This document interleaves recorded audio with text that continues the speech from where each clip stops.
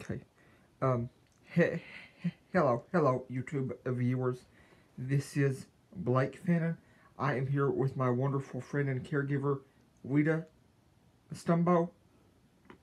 And, um, she has, she has some advice for all of us on what to do, on what to do when we hear about something we hate or don't like or can't stand, such as football.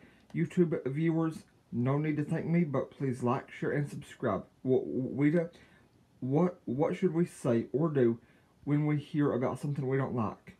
Well, just pretend that you didn't hear it and don't say nothing about it unless they mention it to you. If they say something to you about it, just say, I'm sorry, but I don't like to talk about that.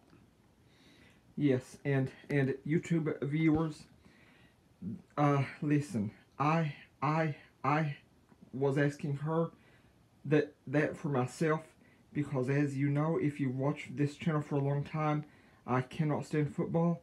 And and listen I I like I said I was asking her that for my own benefit because be be, be because I personally cannot stand football. So listen to me YouTube viewers.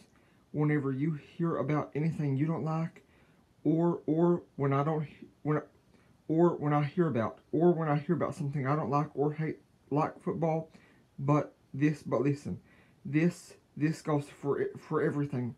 This goes for everything we hate, we hate or, or don't like, such as football. Just, just say, I can't stand it, I don't like it, and I don't want no part of it, and, and I'm not going to talk, and I'm not going to talk about that. That's right. But, but YouTube viewers, trust me, that that is that is how I'm going to react to football right now. But for those of you who like it, I can't stand it, and don't talk to me about football. Thank you. Please like, share, and subscribe.